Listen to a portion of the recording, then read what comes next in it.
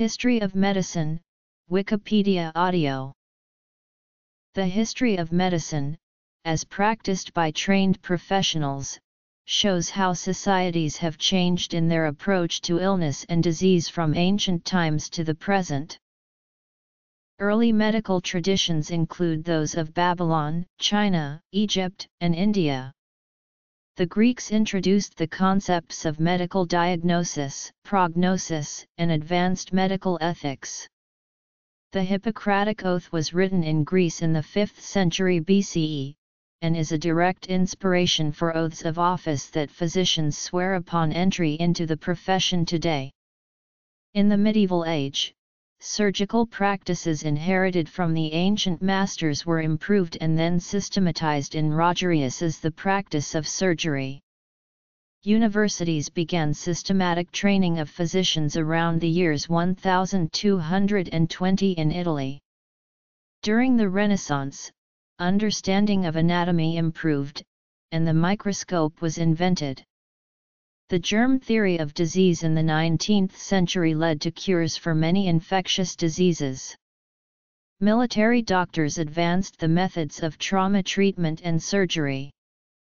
Public health measures were developed especially in the 19th century as the rapid growth of cities required systematic sanitary measures.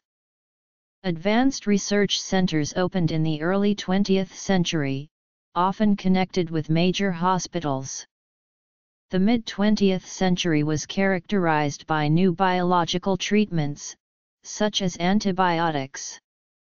These advancements, along with developments in chemistry, genetics, and lab technology led to modern medicine. Medicine was heavily professionalized in the 20th century, and new careers opened to women as nurses and as physicians. Although there is no record to establish when plants were first used for medicinal purposes, the use of plants as healing agents, as well as clays and soils is ancient. Over time through emulation of the behavior of fauna a medicinal knowledge base developed and passed between generations. As tribal culture specialized specific castes, shamans, and apothecaries fulfilled the role of healer. Prehistoric medicine The first known dentistry dates to about 7000 BCE in Baluchistan, where Neolithic dentists used flint-tipped drills and bowstrings. The first known trepanning operation was carried out about 5000 BCE in Ensisheim, France. The earliest known surgery, an amputation was carried out about 4900 BCE in Buthiers-Boulancourt, France. Ancient Egypt developed a large, varied, and fruitful medical tradition. Herodotus described the Egyptians as the healthiest of all men, next to the Libyans, because of the dry climate and the notable public health system that they possessed. According to him, the practice of medicine is so specialized among them that each physician is a healer of one disease and no more. Although Egyptian medicine, to a considerable extent, dealt with the supernatural, it eventually developed a practical use in the fields of anatomy, public health, and clinical diagnostics. Medical information in the Edwin Smith Papyrus may date to a time as early as 3000 BC. Imhotep in the Third Dynasty is sometimes credited with being the founder of ancient Egyptian medicine and with being the original author of the Edwin Smith Papyrus, detailing cures, ailments and anatomical observations. The Edwin Smith Papyrus is regarded as a copy of several earlier works and was written c. 1600 BC. It is an ancient textbook on surgery almost completely devoid of magical thinking and describes in exquisite detail the examination, diagnosis, treatment, and prognosis of numerous ailments. The Kahun Gynaecological Papyrus treats women's complaints, including problems with conception. 34 cases detailing diagnosis and treatment survive, some of them fragmentarily.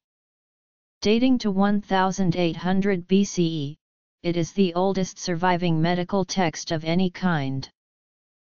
Medical institutions, referred to as houses of life are known to have been established in ancient Egypt as early as 2200 BC. The earliest known physician is also credited to ancient Egypt, Hesy-Ra, chief of dentists and physicians for King Djoser in the 27th century BCE. Also, the earliest known woman physician, Pashut, practiced in ancient Egypt at the time of the 4th dynasty. Her title was Lady Overseer of the Lady Physicians.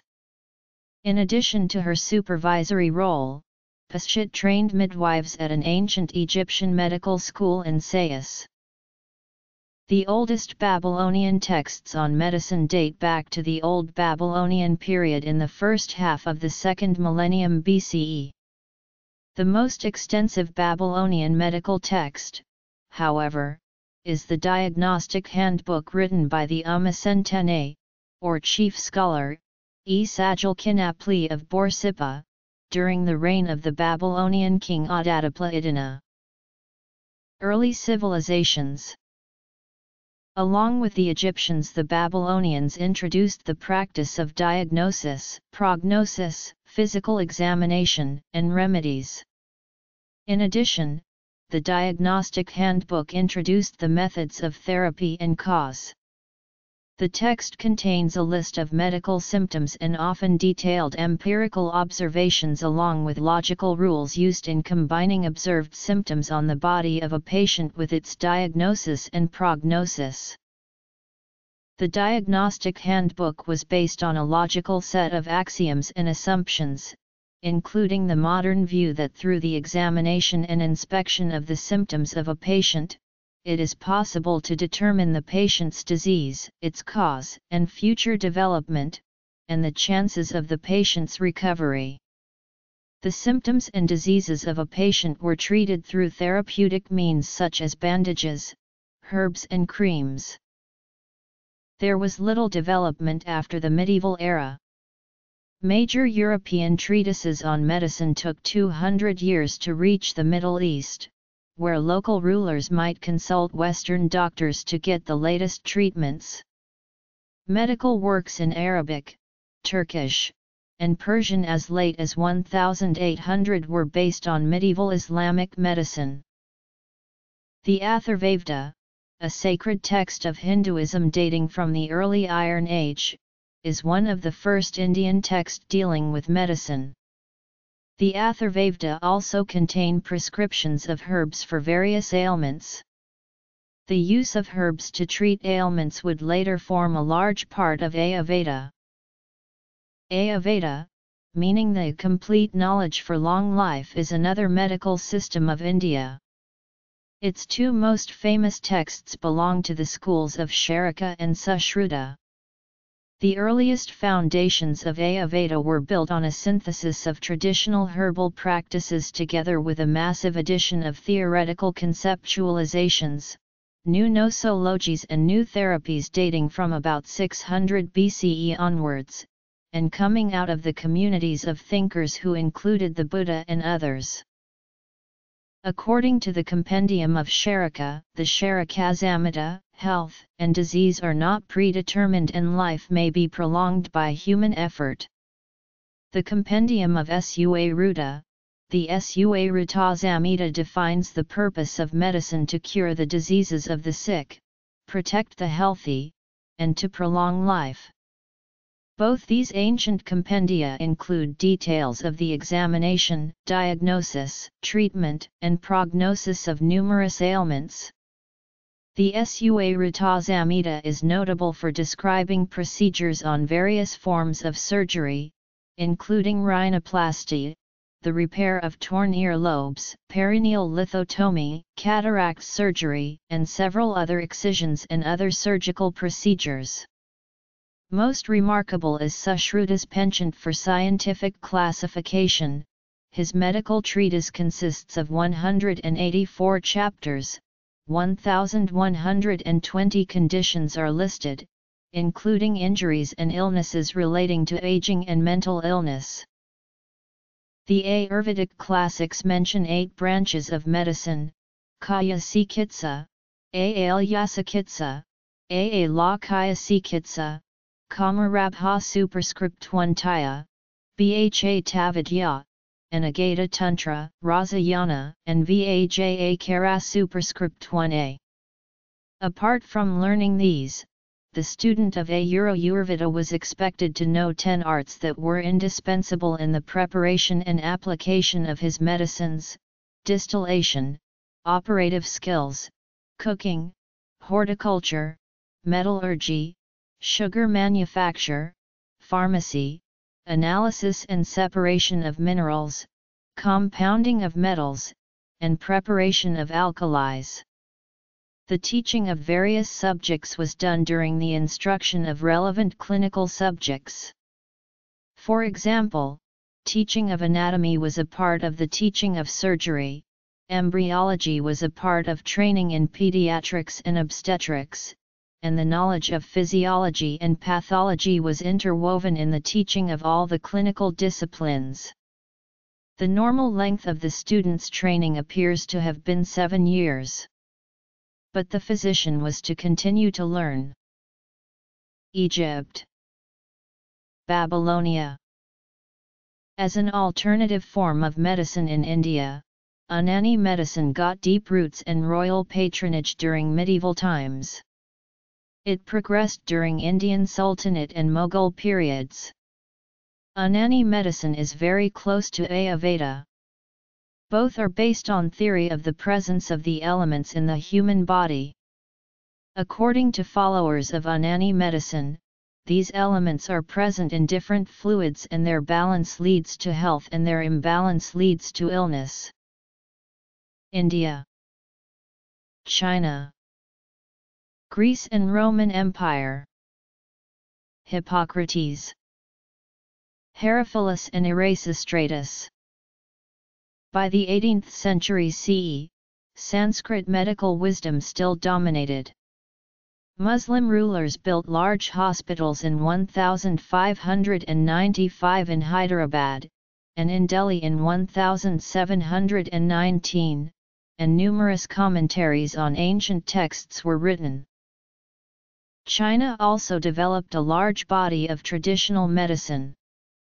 Much of the philosophy of traditional Chinese medicine derived from empirical observations of disease and illness by Taoist physicians and reflects the classical Chinese belief that individual human experiences express causative principles effective in the environment at all scales. These causative principles, whether material, essential, or mystical, correlate as the expression of the natural order of the universe. The foundational text of Chinese medicine is the Huangdi Neijing, written 5th century to 3rd century BCE. Near the end of the 2nd century CE, during the Han dynasty, Zhang Zhongjing, wrote a treatise on cold damage, which contains the earliest known reference to the Neijing Su Wen. The Jin dynasty practitioner and advocate of acupuncture and moxibustion, Huang Fumi, also quotes the Yellow Emperor in his Ji Jing, c. 265. During the Tang dynasty, the Su Wen was expanded and revised, and is now the best extant representation of the foundational roots of traditional Chinese medicine. Traditional Chinese medicine that is based on the use of herbal medicine, acupuncture, massage, and other forms of therapy has been practiced in China for thousands of years.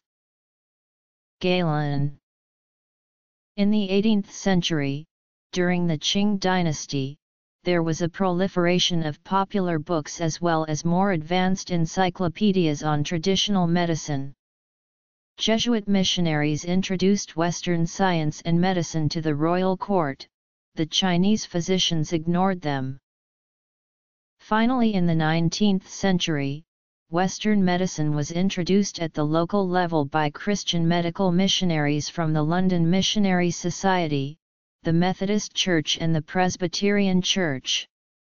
Benjamin Hobson in 1839, set up a highly successful Wai Ai clinic in Guangzhou, China. The Hong Kong College of Medicine for Chinese was founded in 1887 by the London Missionary Society, with its first graduate being Sun Yat-sen, who later led the Chinese Revolution. The Hong Kong College of Medicine for Chinese was the forerunner of the School of Medicine of the University of Hong Kong, which started in 1911. Because of the social custom that men and women should not be near to one another, the women of China were reluctant to be treated by male doctors. The missionaries sent women doctors such as Dr. Mary Hannah Fulton. Supported by the Foreign Missions Board of the Presbyterian Church she in 1902 founded the first medical college for women in China, the Hackett Medical College for Women, in Guangzhou. Around 800 BCE Homer in the Iliad gives descriptions of wound treatment by the two sons of Asclepios, the admirable physicians Podalirius and Machaon and one acting doctor, Patroclus. Because Machaon is wounded and Podalirius is in combat Eurypylus asks Patroclus to cut out this arrow from my thigh, wash off the blood with warm water and spread soothing ointment on the wound. Asclepios like Imhotep becomes god of healing over time. Temples dedicated to the healer god Asclepius, known as Asclepia, functioned as centers of medical advice, prognosis, and healing. At these shrines, patients would enter a dreamlike state of induced sleep known as enkoimesis not unlike anesthesia, in which they either received guidance from the deity in a dream or were cured by surgery. Asclepia provided carefully controlled spaces conducive to healing and fulfilled several of the requirements of institutions created for healing. In the Asclepion of Epidaurus, Three large marble boards dated to 350 BCE preserve the names, case histories, complaints, and cures of about 70 patients who came to the temple with a problem and shed it there. Some of the surgical cures listed, such as the opening of an abdominal abscess or the removal of traumatic foreign material, are realistic enough to have taken place, but with the patient in a state of enkoimesis induced with the help of soporific substances such as opium. Alcmaeon of Croton wrote on medicine between 500 and 450 BCE. He argued that channels linked the sensory organs to the brain, and it is possible that he discovered one type of channel, the optic nerves, by dissection. A towering figure in the history of medicine was the physician Hippocrates of Kos, considered the father of modern medicine. The Hippocratic corpus is a collection of around 70 early medical works from ancient Greece strongly associated with Hippocrates and his students. Most famously, Hippocrates invented the Hippocratic Oath for physicians. Until today physicians swear an oath of office, which includes aspects found already in the Hippocratic Oath. Hippocrates and his followers were first to describe many diseases and medical conditions. He is given credit for the first description of clubbing of the fingers, an important diagnostic sign in chronic suppurative lung disease, lung cancer, and cyanotic heart disease. For this reason, Clubbed fingers are sometimes referred to as Hippocratic fingers. Hippocrates was also the first physician to describe the Hippocratic face in prognosis. Shakespeare famously alludes to this description when writing of Falstaff's death in Act 2, Scene 3 of Henry V. Roman contributions Hippocrates began to categorize illnesses as acute, chronic, endemic, and epidemic, and used terms such as exacerbation, relapse, resolution, crisis, paroxysm, peak, and convalescence. Another of Hippocrates' major contributions may be found in his descriptions of the symptomatology, physical findings, surgical treatment, and prognosis of thoracic empyema, i.e. suppuration of the lining of the chest cavity. His teachings remain relevant to present-day students of pulmonary medicine and surgery. Hippocrates was the first documented person to practice cardiothoracic surgery, and his findings are still valid. The Middle Ages, 400 to 1400. Some of the techniques and theories developed by Hippocrates are now put into practice by the fields of environmental and integrative medicine. These include recognizing the importance of taking a complete history which includes environmental exposures as well as foods eaten by the patient which might play a role in his or her illness. Two great Alexandrians laid the foundations for the scientific study of anatomy and physiology, Herophilus of Chalcedon and Erasistratus of Ceos.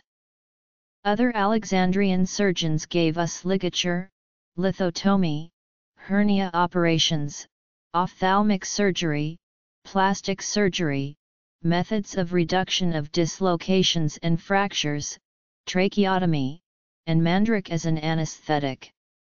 Some of what we know of them comes from Celsus and Galen of Pergamum.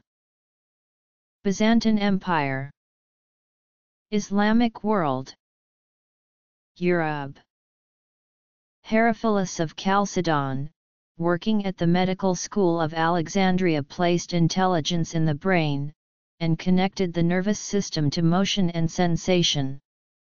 Herophilus also distinguished between veins and arteries, noting that the latter pulse while the former do not. He and his contemporary, Erasistratus of Chios, researched the role of veins and nerves, mapping their courses across the body. Erasistratus connected the increased complexity of the surface of the human brain compared to other animals to its superior intelligence. He sometimes employed experiments to further his research, at one time repeatedly weighing a caged bird, and noting its weight loss between feeding times. In Erasistratus physiology, air enters the body, is then drawn by the lungs into the heart, where it is transformed into vital spirit, and is then pumped by the arteries throughout the body. Some of this vital spirit reaches the brain, where it is transformed into animal spirit, which is then distributed by the nerves. The Greek Galen was one of the greatest physicians of the ancient world, studying and traveling widely in ancient Rome. He dissected animals to learn about the body, and performed many audacious operations a euro including brain and eye surgery a euro that were not tried again for almost two millennia. In Ars Medica, he explained mental properties in terms of specific mixtures of the bodily parts. Galen's medical works were regarded as authoritative until well into the Middle Ages. Galen left a physiological model of the human body that became the mainstay of the medieval physician's university anatomy curriculum, but it suffered greatly from stasis and intellectual stagnation because some of Galen's ideas were incorrect, he did not dissect a human body. Greek and Roman taboos had meant that dissection was usually banned in ancient times, but in Middle Ages it changed, medical teachers and students at Bologna began to open human bodies, and Mondino de Luzzi produced the first known anatomy textbook based on human dissection. In 1523 Galen's on the Natural Faculties was published in London. In the 1530s Belgian anatomist and physician Andreas Vesalius launched a project to translate many of Galen's Greek texts into Latin. Vesalius's most famous work, De Humani Corporis Fabrica was greatly influenced by Galenic writing and form. The Romans invented numerous surgical instruments, including the first instruments unique to women, as well as the surgical uses of forceps, scalpels, cautery, cross-bladed scissors, the surgical needle, the sound, and speculas. Romans also performed cataract surgery. The Roman army physician Dioscorides, was a Greek botanist and pharmacologist. He wrote the Encyclopaedia de Materia Medica describing over 600 herbal cures, forming an influential pharmacopoeia which was used extensively for the following 1,500 years. Byzantine medicine encompasses the common medical practices of the Byzantine Empire from about 400 AD to 1453 AD. Byzantine medicine was notable for building upon the knowledge base developed by its Greco-Roman predecessors. In preserving medical practices from antiquity, Byzantine medicine influenced Islamic medicine as well as fostering the Western rebirth of medicine during the Renaissance. Byzantine physicians often compiled and standardized medical knowledge into textbooks. Their records tended to include both diagnostic explanations and technical drawings. The medical compendium in seven books, written by the leading physician Paul of Aegina, survived as a particularly thorough source of medical knowledge. This compendium, written in the late 7th century, remained in use as a standard textbook for the following 800 years. Late antiquity ushered in a revolution in medical science, and historical records often mention civilian hospitals.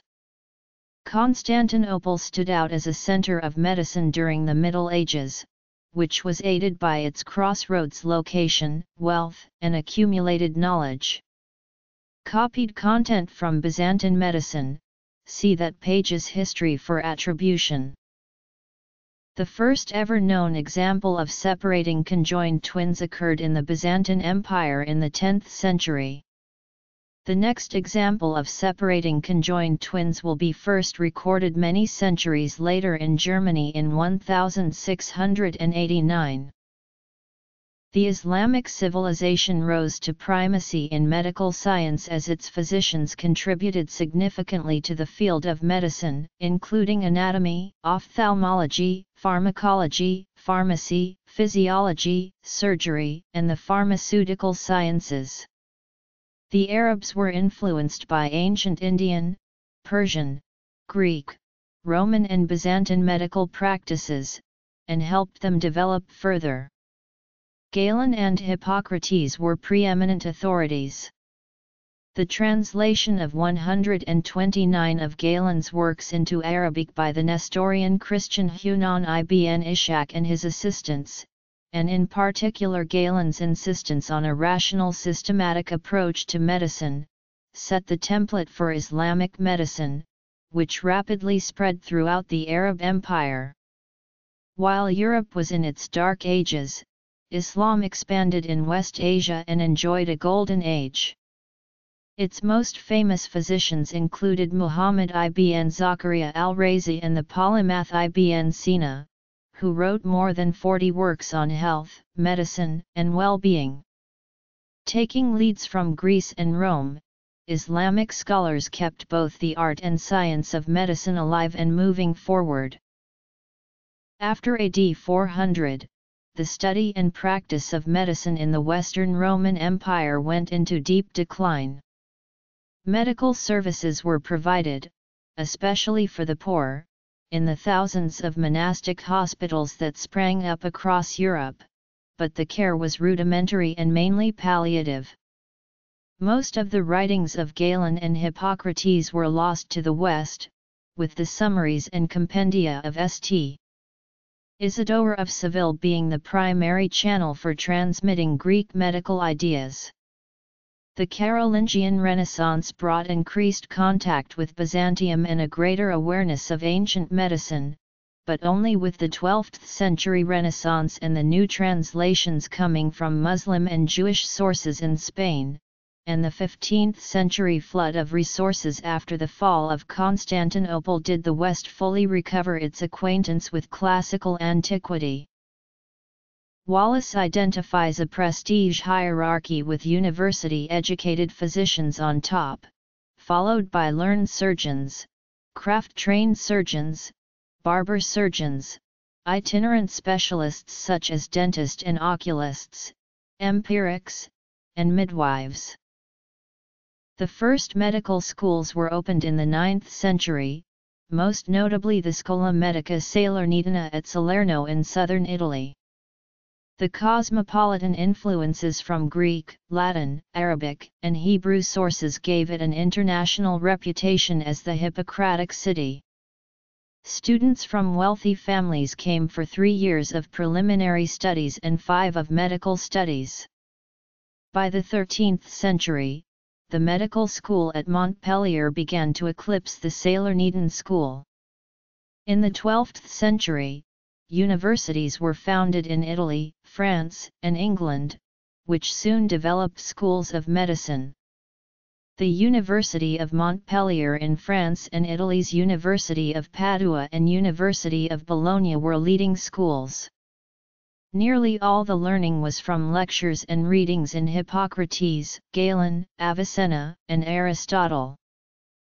The underlying principle of most medieval medicine was Galen's theory of humors. This was derived from the ancient medical works, and dominated all Western medicine until the 19th century. The theory stated that within every individual there were four humors, or principal fluids a euro black bile, yellow bile, phlegm, and blood, these were produced by various organs in the body, and they had to be in balance for a person to remain healthy. Too much phlegm in the body, for example, caused lung problems, and the body tried to cough up the phlegm to restore a balance. The balance of humors in humans could be achieved by diet, medicines, and by bloodletting, using leeches. The four humors were also associated with the four seasons, black bile autumn, yellow bile summer, phlegm winter, and blood spring. Healing included both physical and spiritual therapeutics, such as the right herbs, a suitable diet, clean bedding, and the sense that care was always at hand. Other procedures used to help patients included the Mass, prayers, relics of saints, and music used to calm a troubled mind or quickened pulse. The Renaissance brought an intense focus on scholarship to Christian Europe. A major effort to translate the Arabic and Greek scientific works into Latin emerged. Europeans gradually became experts not only in the ancient writings of the Romans and Greeks, but in the contemporary writings of Islamic scientists. During the later centuries of the Renaissance came an increase in experimental investigation, particularly in the field of dissection and body examination, thus advancing our knowledge of human anatomy. The development of modern neurology began in the 16th century in Italy and France with Nicola Superscript II Massa, Jean Fernel, Jacques Dubois and Andreas Vesalius. Vesalius described in detail the anatomy of the brain and other organs, he had little knowledge of the brain's function, thinking that it resided mainly in the ventricles. Over his lifetime he corrected over 200 of Galen's mistakes. Understanding of medical sciences and diagnosis improved, but with little direct benefit to health care.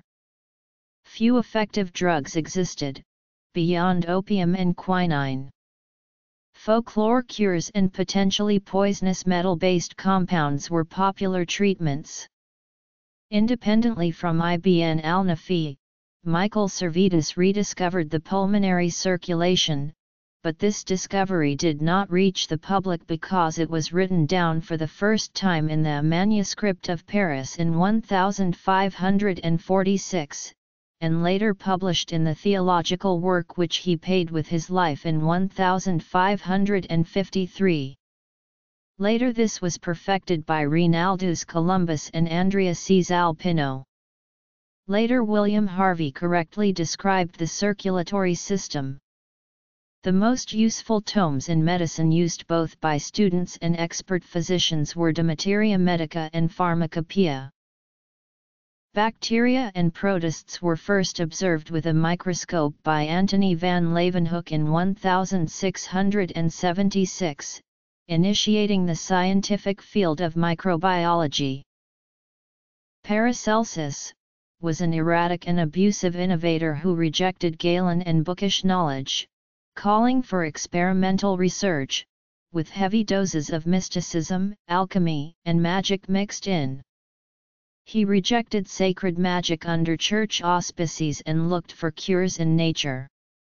He preached but he also pioneered the use of chemicals and minerals in medicine. His hermetical views were that sickness and health in the body relied on the harmony of man and nature. He took an approach different from those before him, using this analogy not in the manner of soul purification but in the manner that humans must have certain balances of minerals in their bodies, and that certain illnesses of the body had chemical remedies that could cure them. Most of his influence came after his death. Paracelsus is a highly controversial figure in the history of medicine, with most experts hailing him as a father of modern medicine for shaking off religious orthodoxy and inspiring many researchers. Others say he was a mystic more than a scientist and downplay his importance. University training of physicians began in the 13th century. The University of Padua was founded about 1220 by walkouts from the University of Bologna, and began teaching medicine in 1222. It played a leading role in the identification and treatment of diseases and ailments, specializing in autopsies and the inner workings of the body. Starting in 1595, Padua's famous anatomical theatre drew artists and scientists studying the human body during public dissections. The intensive study of Galen led to critiques of Galen modeled on his own writing, as in the first book of Vesalius's De Humani Corporis Fabrica. Andreas Vesalius held the chair of surgery and anatomy and in 1543 published his anatomical discoveries in De Humani Corporis Fabrica. He portrayed the human body as an interdependent system of organ groupings. The book triggered great public interest in dissections and caused many other European cities to establish anatomical theatres. At the University of Bologna the training of physicians began in 1219. The Italian city attracted students from across Europe. Taddeo Alderotti built a tradition of medical education that established the characteristic features of Italian learned medicine and was copied by medical schools elsewhere. Turisanus was his student. The curriculum was revised and strengthened in 1560 a Euro 1590. A representative professor was Julius Caesar Aranzi. He became professor of anatomy and surgery at the University of Bologna in 1556, where he established anatomy as a major branch of medicine for the first time. Aranzi combined anatomy with a description of pathological processes, based largely on his own research, Galen, and the work of his contemporary Italians. Aranzi discovered the nodules of Aranzio in the semilunar valves of the heart and wrote the first description of the superior levator palpebral and the coracobrachialis muscles. His books covered surgical techniques for many conditions, including hydrocephalus, nasal polyp, goiter, and tumors to phimosis, ascites, hemorrhoids, anal abscess and fistulae. Catholic women played large roles in health and healing in medieval and early modern Europe. A life as a nun was a prestigious role, wealthy families provided dowries for their daughters, and these funded the convents, while the nuns provided free nursing care for the poor. The Catholic elites provided hospital services because of their theology of salvation that good works were the route to heaven. The Protestant reformers rejected the notion that rich men could gain God's grace through good works a euro and thereby escape purgatory a euro by providing cash endowments to charitable institutions. They also rejected the Catholic idea that the poor patients earned grace and salvation through their suffering. Protestants generally closed all the convents and most of the hospitals, sending women home to become housewives, often against their will. On the other hand, local officials recognized the public value of hospitals, and some were continued in Protestant lands, but without monks or nuns and in the control of local governments. In London, the Crown allowed two hospitals to continue their charitable work, under non-religious control of city officials. The convents were all shut down but Harkness finds that women a euro some of them former nuns a euro were part of a new system that delivered essential medical services to people outside their family. They were employed by parishes and hospitals, as well as by private families, and provided nursing care as well as some medical, pharmaceutical, and surgical services. Meanwhile, in Catholic lands such as France, rich families continued to fund convents and monasteries, and enrolled their daughters as nuns who provided free health services to the poor. Nursing was a religious role for the nurse, and there was little call for science. During the Age of Enlightenment, the 18th century, science was held in high esteem and physicians upgraded their social status by becoming more scientific. The health field was crowded with self-trained barber surgeons, apothecaries, midwives, drug peddlers, and charlatans. Across Europe medical schools relied primarily on lectures and readings. The final year student would have limited clinical experience by trailing the professor through the wards. Laboratory work was uncommon, and dissections were rarely done because of legal restrictions on cadavers. Most schools were small, and only Edinburgh, Scotland, with 11,000 alumni, produced large numbers of graduates. In Britain, there were but three small hospitals after 1,550. Pelling and Webster estimate that in London in the 1580 to 1600 period, out of a population of nearly 200,000 people, there were about 500 medical practitioners. Nurses and midwives are not included. There were about 50 physicians, 100 licensed surgeons, 100 apothecaries, and 250 additional unlicensed practitioners. In the last category about 25% were women.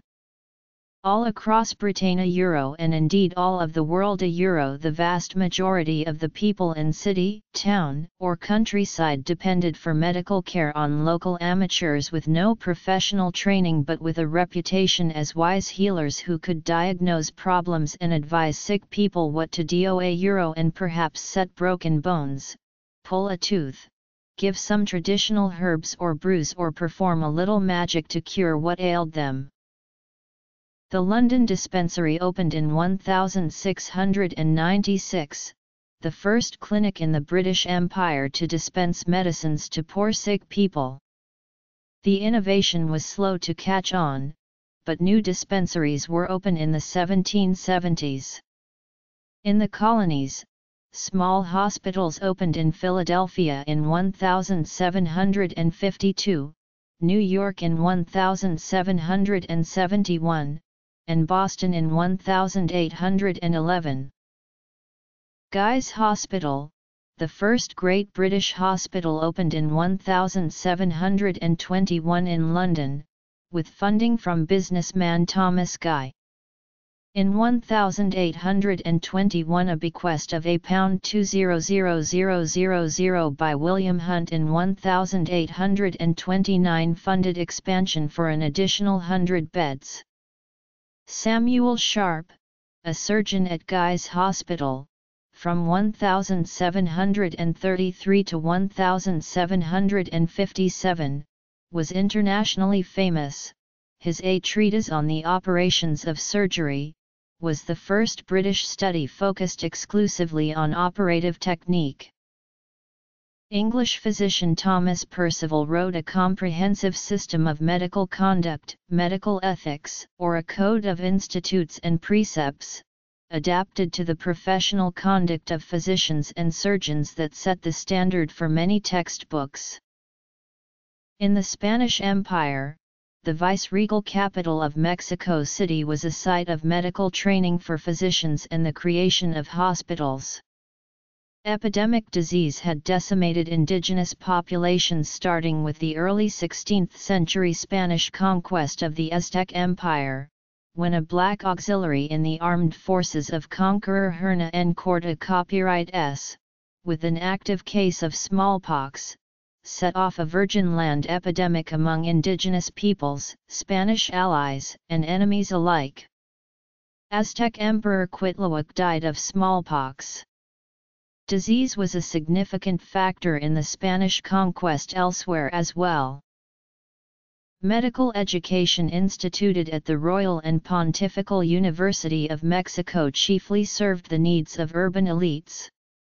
Male and female curanderos or lay practitioners, attended to the ills of the popular classes.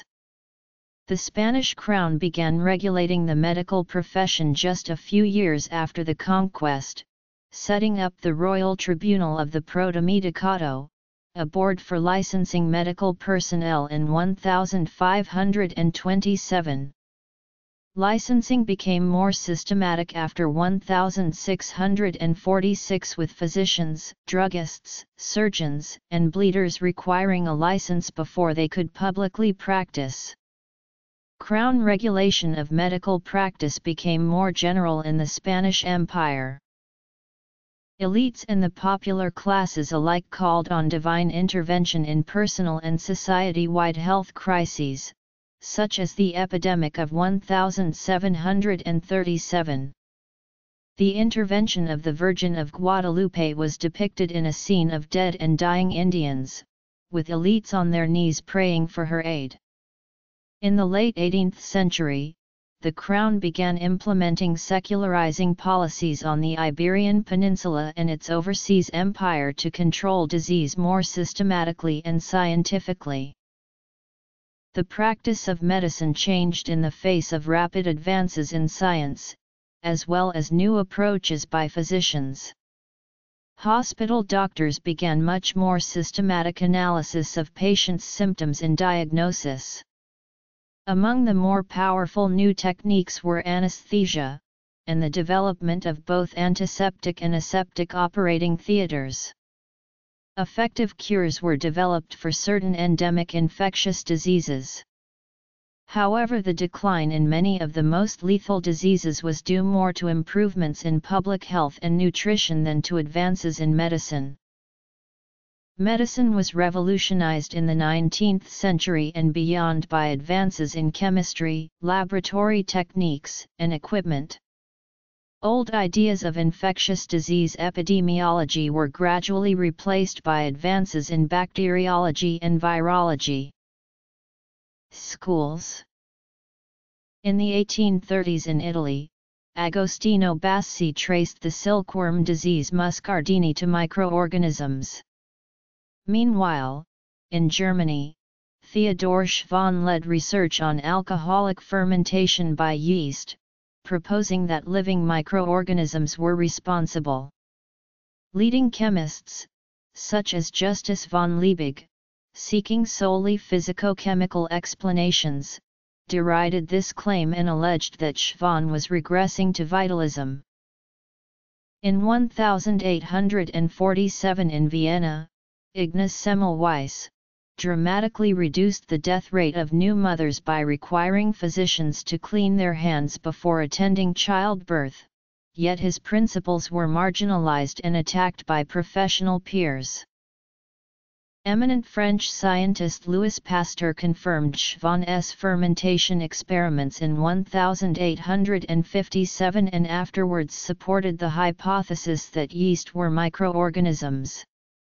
Moreover, he suggested that such a process might also explain contagious disease.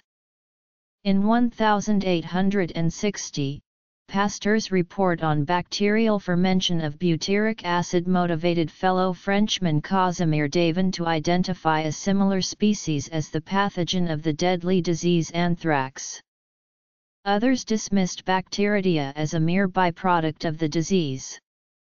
British surgeon Joseph Lister, however, took these findings seriously and subsequently introduced antisepsis to wound treatment in 1865. German physician Robert Koch, noting fellow German Ferdinand Cohn's report of a spore stage of a certain bacterial species, traced the life cycle of Davaine's bacteria, identified spores, inoculated laboratory animals with them, and reproduced Anthraxa euro a breakthrough for experimental pathology and germ theory of disease. Pasteur's group added ecological investigations confirming spores' role in the natural setting, while Koch published a landmark treatise in 1878 on the bacterial pathology of wounds. In 1881, Koch reported discovery of the tubercle bacillus, cementing germ theory and Koch's acclaim. Upon the outbreak of a cholera epidemic in Alexandria, Egypt, two medical missions went to investigate and attend the sick, one was sent out by Pasteur and the other actually led by Koch. Koch's group returned victorious in 1883, having discovered the cholera pathogen. In Germany, however, Koch's bacteriologists had to vie against Max von Pettenkofer, Germany's leading proponent of miasmatic theory. Pettenkofer conceded bacteria's causal involvement, but maintained that other, environmental factors were required to turn it pathogenic, and opposed water treatment as a misdirected effort amid more important ways to improve public health. The massive cholera epidemic in Hamburg in 1892 devastated Pettenkofer's position, and yielded German public health to Koch's bacteriology. Humors On losing the 1883 rivalry in Alexandria, Pasteur switched research direction, and introduced his third Vaccinia Euro rabies vaccine A Euro the first vaccine for humans since Jenner S for smallpox. From across the globe, donations poured in, funding the founding of Pasteur Institute, the globe's first biomedical institute, which opened in 1888. Along with Koch's bacteriologists, Pasteur's group a Euro which preferred the term microbiology a Euro led medicine into the new era of scientific medicine upon bacteriology and germ theory. Accepted from Jacob Henle, Koch's steps to confirm a species' pathogenicity became famed as Koch's postulates. Although his proposed tuberculosis treatment, tuberculin, seemingly failed, it soon was used to test for infection with the involved species. In 1905, Koch was awarded the Nobel Prize in Physiology or Medicine, and remains renowned as the founder of medical microbiology. Women had always served in ancillary roles, and as midwives and healers. The professionalization of medicine forced them increasingly to the sidelines. As hospitals multiplied they relied in Europe on orders of Roman Catholic nun nurses, and German Protestant and Anglican deaconesses in the early 19th century. They were trained in traditional methods of physical care that involved little knowledge of medicine. The breakthrough to professionalization based on knowledge of advanced medicine was led by Florence Nightingale in England. She resolved to provide more advanced training than she saw on the continent. At Kaiserswerth, where the first German nursing schools were founded in 1836 by Theodor Fliedner, she said, the nursing was nil and the hygiene horrible. Britain's male doctors preferred the old system, but Nightingale won out and her Nightingale Training School opened in 1860 and became a model. The Nightingale solution depended on the patronage of upper-class women, and they proved eager to serve. Royalty became involved. In 1902 the wife of the British King took control of the nursing unit of the British Army, became its president, and renamed it after herself as the Queen Alexandra's Royal Army Nursing Corps. When she died the next queen became president. Today its colonel-in-chief is the daughter-in-law of Queen Elizabeth. In the United States, upper-middle-class women who already supported hospitals promoted nursing. The new profession proved highly attractive to women of all backgrounds, and schools of nursing opened in the late 19th century. They soon a function of large hospitals, where they provided a steady stream of low-paid idealistic workers. The International Red Cross began operations in numerous countries in the late 19th century, promoting nursing as an ideal profession for middle-class women. Renaissance to early modern period 160 HA Euro 18th century. The Nightingale model was widely copied. Linda Richards studied in London and became the first professionally trained American nurse. She established nursing training programs in the United States and Japan, and created the first system for keeping individual medical records for hospitalized patients. The Russian Orthodox Church sponsored seven orders of nursing sisters in the late 19th century. They ran hospitals, clinics, almshouses, pharmacies, and shelters as well as training schools for nurses. In the Soviet era, with the aristocratic sponsors gone, nursing became a low-prestige occupation based in poorly maintained hospitals. It was very difficult for women to become doctors in any field before the 1970s. Elizabeth Blackwell became the first woman to formally study and practice medicine in the United States. She was a leader in women's medical education. While Blackwell viewed medicine as a means for social and moral reform, her student Mary Putnam Jacobi focused on curing disease. At a deeper level of disagreement, Blackwell felt that women would succeed in medicine because of their humane female values, but Jacobi believed that women should participate as the equals of men in all medical specialties using identical methods, values, and insights. In the Soviet Union although the majority of medical doctors were women, they were paid less than the mostly male factory workers. Paracelsus Padua and Bologna Paris and Vienna were the two leading medical centers on the continent in the era 1750 a Euro 1914. In the 1770 SA Euro 1850s Paris became a world center of medical research and teaching. The Paris school emphasized that teaching and research should be based in large hospitals and promoted the professionalization of the medical profession and the emphasis on sanitation and public health. A major reformer was Jean-Antoine Chaptal, a physician who was Minister of Internal Affairs. He created the Paris Hospital, health councils, and other bodies. Louis Pasteur was one of the most important founders of medical microbiology.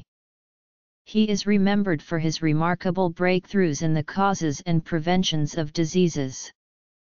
His discoveries reduced mortality from puerperal fever, and he created the first vaccines for rabies and anthrax. His experiments supported the germ theory of disease. He was best known to the general public for inventing a method to treat milk and wine in order to prevent it from causing sickness, a process that came to be called pasteurization. He is regarded as one of the three main founders of microbiology, together with Ferdinand Cohn and Robert Koch. He worked chiefly in Paris and in 1887 founded the Pasteur Institute there to perpetuate his commitment to basic research and its practical applications. As soon as his institute was created, Pasteur brought together scientists with various specialties. The first five departments were directed by Émile Duclaux and Charles Chamberland, as well as a biologist, Ilya Ilyich Mechnikov and two physicians, Jacques-Joseph Grancher and Émile Roux. One year after the inauguration of the Institut Pasteur, Roux set up the first course of microbiology ever taught in the world, then entitled Cours de MICROB Technique. It became the model for numerous research centers around the world named Pasteur Institutes.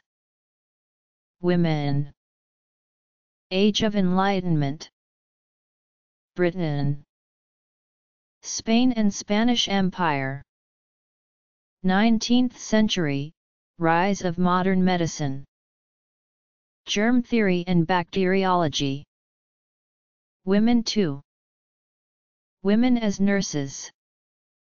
Women as physicians. Paris. Vienna. Berlin. U.S. Civil War. Statistical methods. Worldwide dissemination. United States.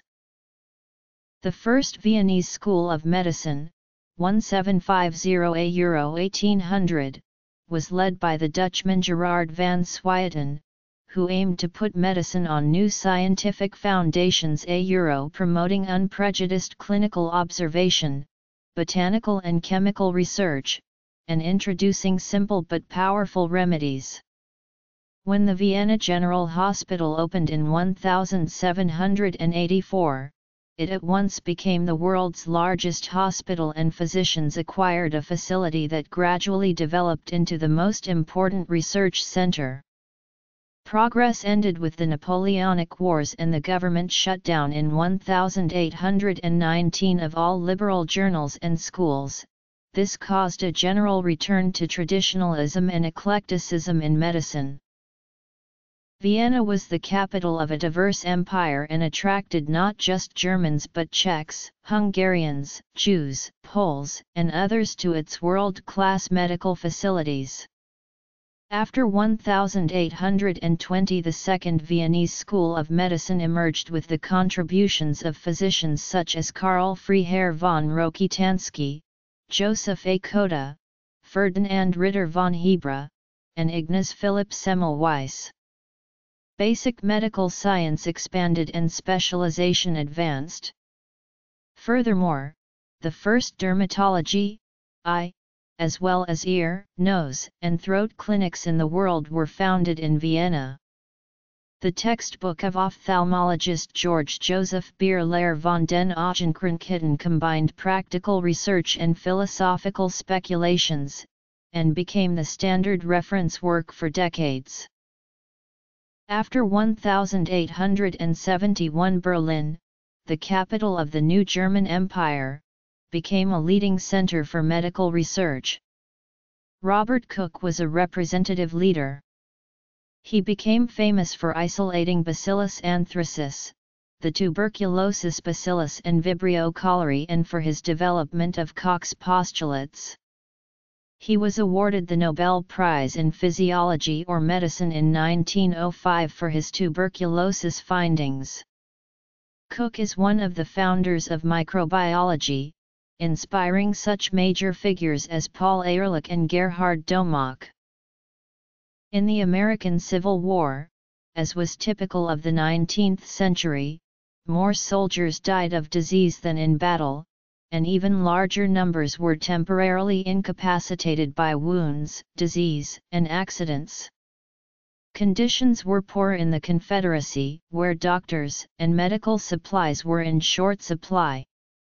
The war had a dramatic long-term impact on medicine in the U.S., from surgical technique to hospitals to nursing and to research facilities.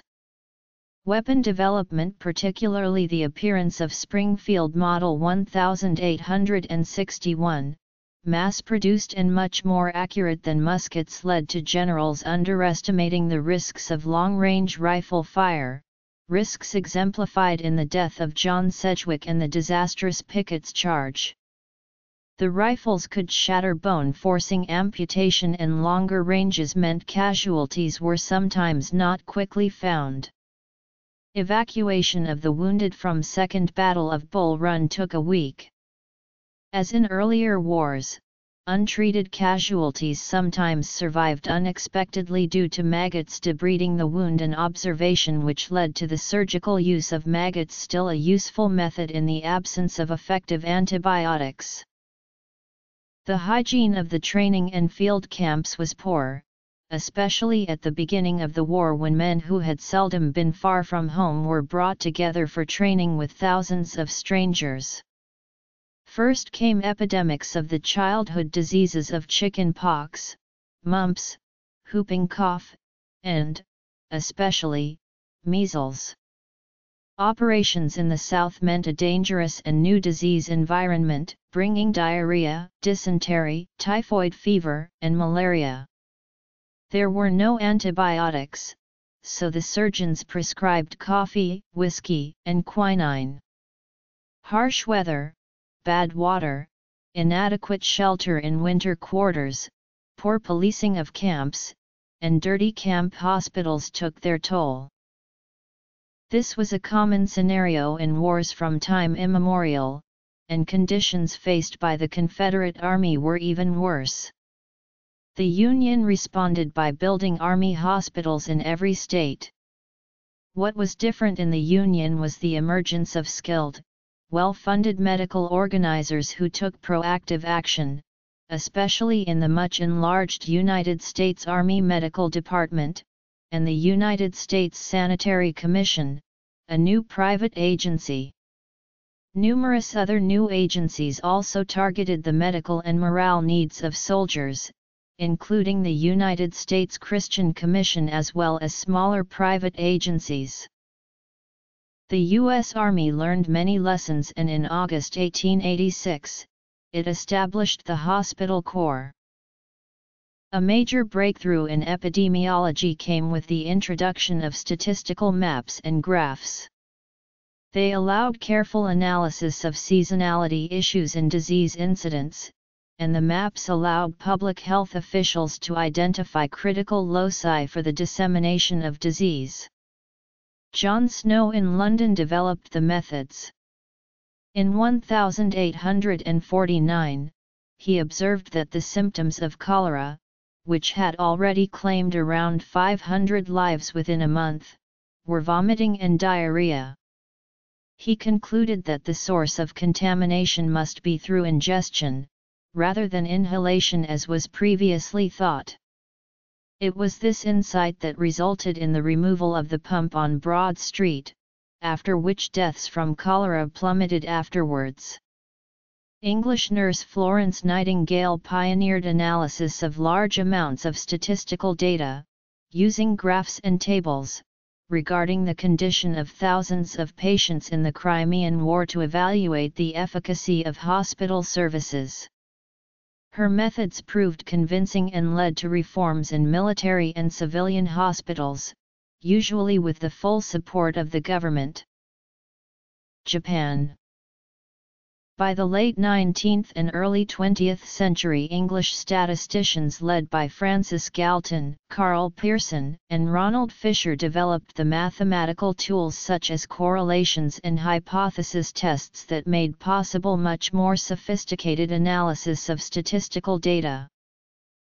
During the U.S. Civil War the Sanitary Commission collected enormous amounts of statistical data, and opened up the problems of storing information for fast access and mechanically searching for data patterns. The pioneer was John Shaw Billings. A senior surgeon in the war, Billings built the library of the Surgeon General's office, the centerpiece of modern medical information systems. Billings figured out how to mechanically analyze medical and demographic data by turning facts into numbers and punching the numbers onto cardboard cards that could be sorted and counted by machine. The applications were developed by his assistant Herman Hollerith. Hollerith invented the punch card and counter sorter system that dominated statistical data manipulation until the 1970s. Hollerith's company became International Business Machines in 1911. Johns Hopkins Hospital, founded in 1889, originated several modern medical practices, including residency and rounds. Psychiatry European ideas of modern medicine were spread widely through the world by medical missionaries, and the dissemination of textbooks. Japanese elites enthusiastically embraced Western medicine after the Meiji Restoration of the 1860s. However they had been prepared by their knowledge of the Dutch and German medicine, for they had some contact with Europe through the Dutch. Highly influential was the 1765 edition of Hendrik van Deventer's pioneer work Nieuwlicht on Japanese obstetrics, especially on Katakura Kakuryo's publication in 1799 of Sanka Hatsumo. A cadre of Japanese physicians began to interact with Dutch doctors, who introduced smallpox vaccinations. By 1820 Japanese Renpa medical practitioners not only translated Dutch medical texts, they integrated their readings with clinical diagnoses. These men became leaders of the modernization of medicine in their country. They broke from Japanese traditions of closed medical fraternities and adopted the European approach of an open community of collaboration based on expertise in the latest scientific methods. Kitasato Sabara studied bacteriology in Germany under Robert Koch.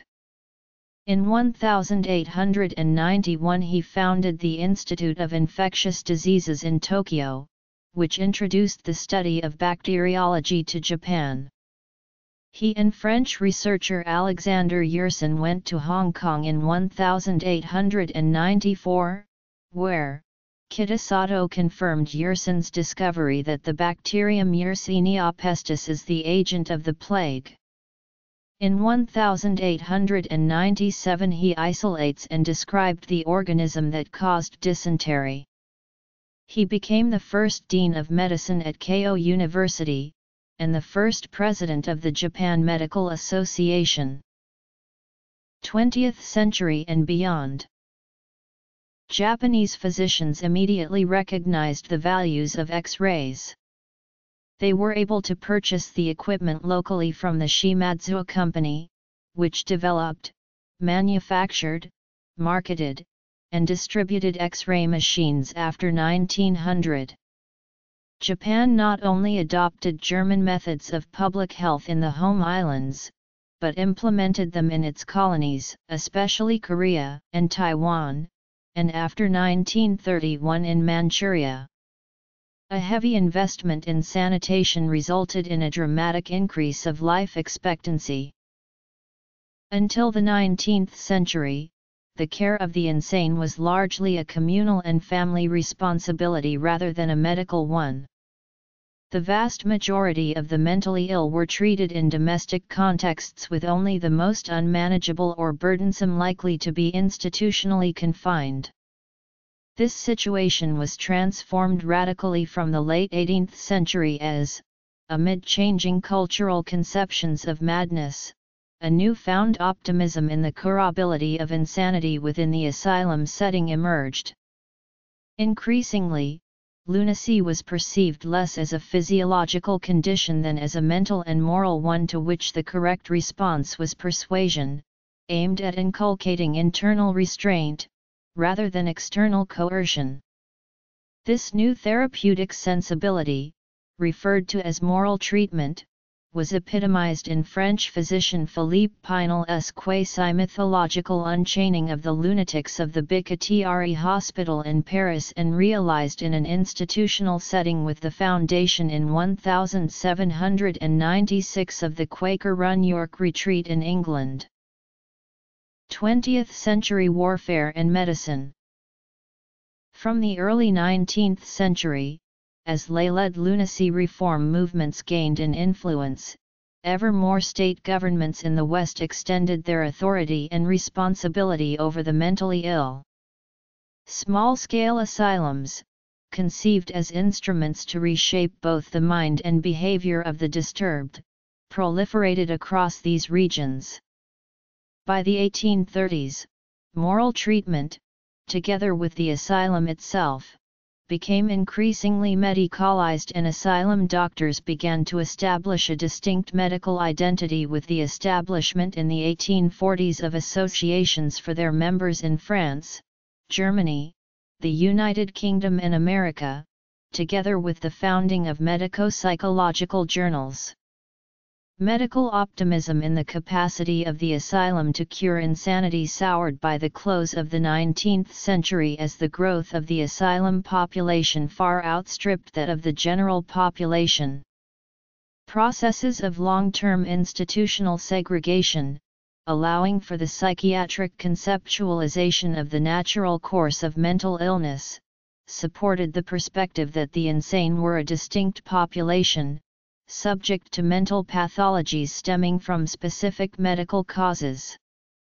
As degeneration theory grew in influence from the mid-19th century, heredity was seen as the central causal element in chronic mental illness, and, with national asylum systems overcrowded and insanity apparently undergoing an inexorable rise, the focus of psychiatric therapeutics shifted from a concern with treating the individual to maintaining the racial and biological health of national populations.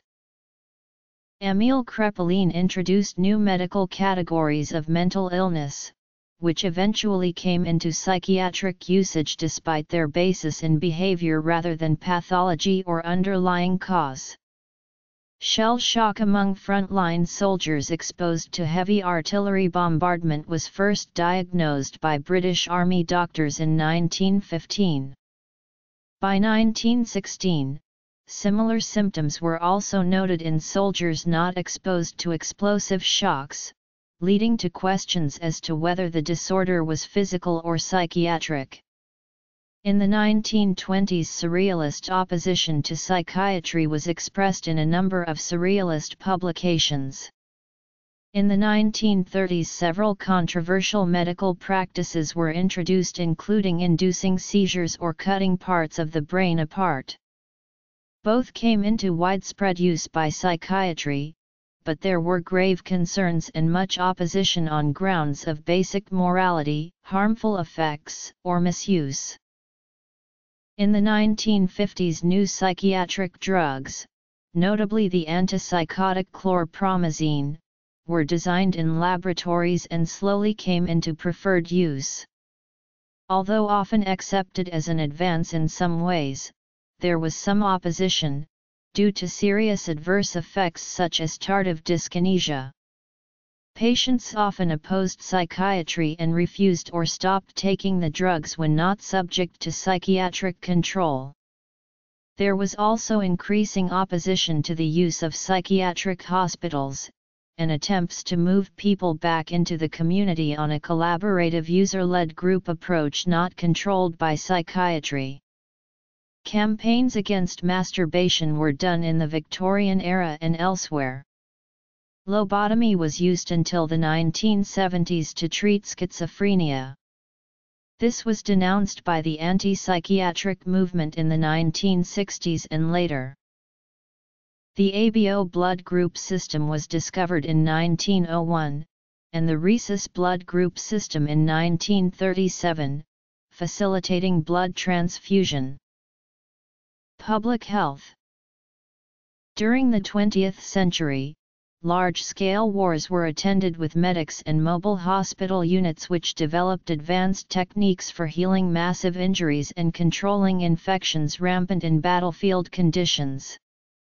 During the Mexican Revolution, General Pancho Villa organized hospital trains for wounded soldiers. Boxcars marked Servicio Sanitario were repurposed as surgical operating theaters and areas for recuperation, and staffed by up to 40 Mexican and U.S. physicians. Severely wounded soldiers were shuttled back to base hospitals. Canadian physician Norman Bethune, MD developed a mobile blood transfusion service for frontline operations in the Spanish Civil War, but ironically, he himself died of blood poisoning. Thousands of scarred troops provided the need for improved prosthetic limbs and expanded techniques in plastic surgery or reconstructive surgery. Those practices were combined to broaden cosmetic surgery and other forms of elective surgery. During the First World War, Alexis Carrel and Henry Dakin developed the Carrel-Dakin method of treating wounds with an irrigation, Dakin's solution, a germicide which helped prevent gangrene. Second World War The Great War spurred the usage of Röntgen's X-ray, and the electrocardiograph, for the monitoring of internal bodily functions. This was followed in the interwar period by the development of the first antibacterial agents such as the sulfa antibiotics. Nazi and Japanese medical research Public health measures became particular important during the 1918 flu pandemic, which killed at least 50 million people around the world. It became an important case study in epidemiology. Bristow shows there was a gendered response of health caregivers to the pandemic in the United States. Male doctors were unable to cure the patients, and they felt like failures. Women nurses also saw their patients die, but they took pride in their success in fulfilling their professional role of caring for, ministering, comforting, and easing the last hours of their patients, and helping the families of the patients cope as well. Malaria From 1917 to 1923, the American Red Cross moved into Europe with a battery of long-term child health projects. It built and operated hospitals and clinics, and organized anti-tuberculosis and anti-typhus campaigns. A high priority involved child health programs such as clinics, better baby shows, playgrounds, fresh air camps, and courses for women on infant hygiene.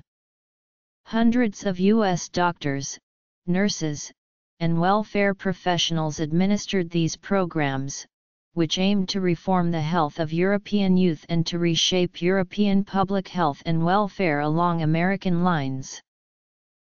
Post-World War II Modern surgery Explanatory notes The advances in medicine made a dramatic difference for Allied troops, while the Germans and especially the Japanese and Chinese suffered from a severe lack of newer medicines, techniques, and facilities.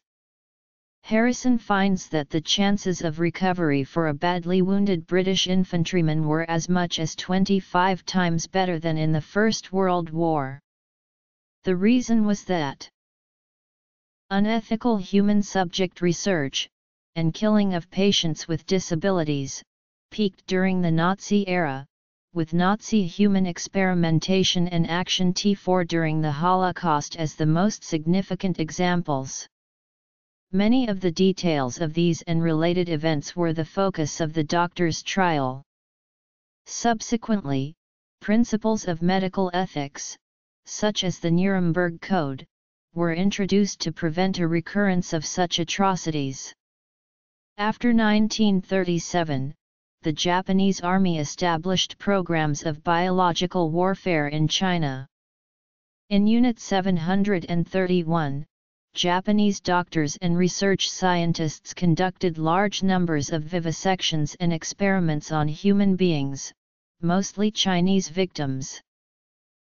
Physicians Britain 2 Historiography Primary sources Starting in World War II, DDT was used as insecticide to combat insect vectors carrying malaria, which was endemic in most tropical regions of the world.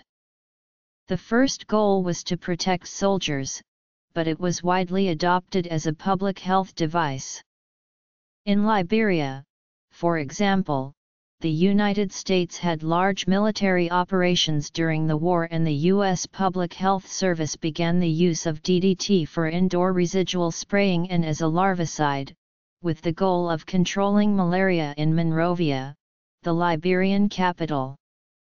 In the early 1950s, the project was expanded to nearby villages. In 1953, the World Health Organization launched an anti-malaria program in parts of Liberia as a pilot project to determine the feasibility of malaria eradication in tropical Africa. However these projects encountered a spate of difficulties that foreshadowed the general retreat from malaria eradication efforts across tropical Africa by the mid-1960s. The World Health Organization was founded in 1948 as a United Nations agency to improve global health. In most of the world, life expectancy has improved since then, and was about 67 years as of 2010, and well above 80 years in some countries. Eradication of infectious diseases is an international effort, and several new vaccines have been developed during the post-war years, against infections such as measles, mumps, several strains of influenza and human papillomavirus. The long-known vaccine against smallpox finally eradicated the disease in the 1970s, and rinderpest was wiped out in 2011. Eradication of polio is underway. Tissue culture is important for development of vaccines. Though the early success of antiviral vaccines and antibacterial drugs, antiviral drugs were not introduced until the 1970s. Through the WHO, the international community has developed a response protocol against epidemics, displayed during the SARS epidemic in 2003, the influenza A virus subtype H5N1 from 2004, the Ebola virus epidemic in West Africa and onwards. As infectious diseases have become less lethal, and the most common causes of death in developed countries are now tumors and cardiovascular diseases, these conditions have received increased attention in medical research. Tobacco smoking as a cause of lung cancer was first researched in the 1920s, but was not widely supported by publications until the 1950s. Cancer treatment has been developed with radiotherapy, chemotherapy, and surgical oncology. Oral rehydration therapy has been extensively used since the 1970s to treat cholera and other diarrhea-inducing infections.